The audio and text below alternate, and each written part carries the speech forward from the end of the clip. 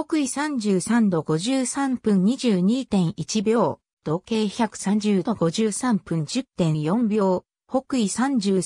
33.889472度統計130.886222度、33.889472-130.886222アジア太平洋インポートマートは、福岡県北九州市小倉北区浅野にある輸入促進を目的とした流通センター棟と展示場棟からなる複合施設。アジア太平洋インポートマートは国の輸入促進地域計画に基づき北九州市における輸入促進計画の中核施設として建設された。輸入に携わる企業や団体の事務所、または店舗の入居を目的とした流通センター棟と西日本総合展示場新館の機能を持つ展示場棟の2つからなる。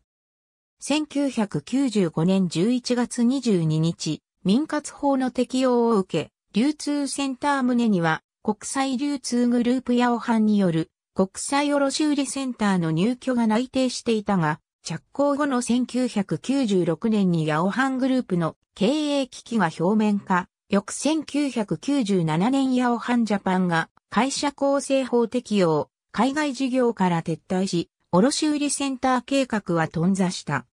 後継として、大塚家具のショールームが4.5階に入居したが、3階は2005年に北九州市立子育てふれあい交流プラザ、元気の森及び西日本総合展示場の中展示場、会議室に用途転用された。